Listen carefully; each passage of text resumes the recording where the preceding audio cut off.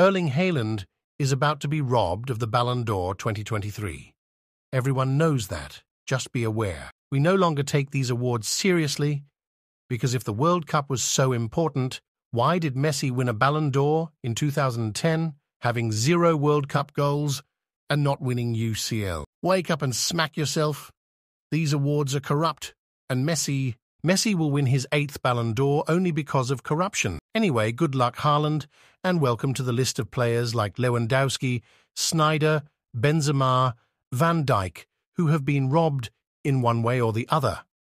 Haaland really had an incredible year and one of the best debut ever in history. Ronaldo fans, subscribe for more.